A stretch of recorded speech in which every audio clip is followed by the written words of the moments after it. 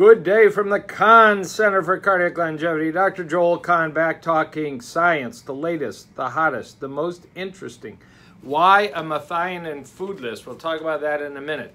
But a major, major study, 26 pages, about 20 of which is the mechanism and the data by which they performed the research study, comes from Duke University Department of Radiation Oncology in a very esteemed journal called Nature. This was just published this week. First author is Gao. I encourage you to get it. I had to get the full one from the library, so you might just see an abstract online. Dietary methionine influences therapy in mouse cancer models and alters human metabolism. So this is very interesting. They didn't just do mice research, they did human research, I'll tell you about. So they basically had two models in mice of cancer. They had a colorectal model and they had a sarcoma model. And there has been ample data that one of the amino acids that's essential for life and we can't make, but do you need a little or do you need a lot? That it alters metabolism and may prolong longevity. That's a very hot theory and may reduce obesity. That's a very hot theory. But they wanted to know its impact in a mouse model on cancer metabolism. So they fed a high methionine, average methionine mouse diet, and a low methionine mouse diet. They quickly saw changes in metabolism within the mice. They saw regression of tumor in the mice. And they did advanced studies to indicate that this could be even combined with standard chemotherapy like 5-fluorouracil, 5-FU. Elegant studies, and it's worth reading at least the abstract, if not the entire 26 pages of science. But then what was very, very cool is they took six volunteers, humans, and they fed them a high methionine diet, like you might get, we'll talk about, and a low methionine diet.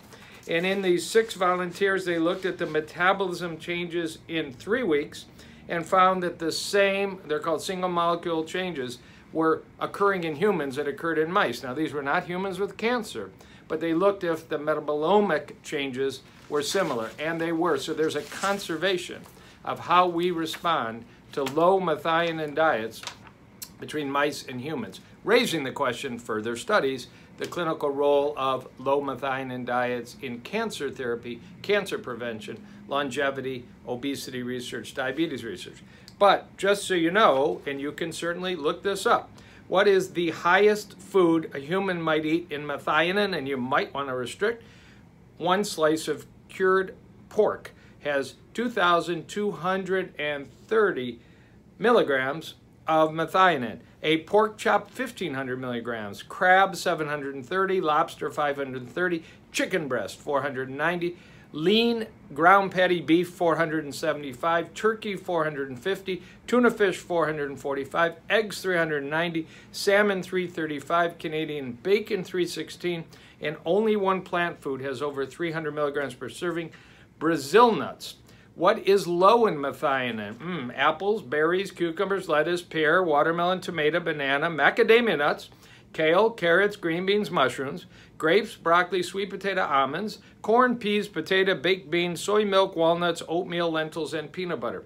Plant foods are low in methionine, and it has been proposed by Dr. McCarty in the past that an advantage of a whole food plant diet is low methionine and the changes this activates in human metabolism. That was a theory he proposed in a journal called Medical Theory. But nonetheless, now we're seeing some application of this in mouse and potentially down the road in human physiology.